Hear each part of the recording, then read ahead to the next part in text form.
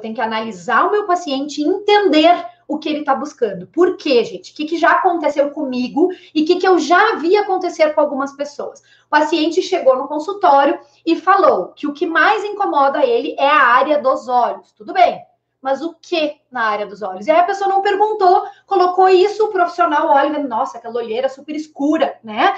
É isso que está incomodando o meu paciente. Aí ele vai lá, faz vários peelings, vários protocolos para tentar clarear aquela olheira, só que não era isso que incomodava o paciente. O que incomodava o paciente era a profundidade ou eram umas rugas naquela região. Se você tivesse feito um botox, uma toxina dérmica aqui, ele já estaria satisfeito porque a coloração não incomoda, ele passava um corretivo e não se incomodava e estava tudo bem.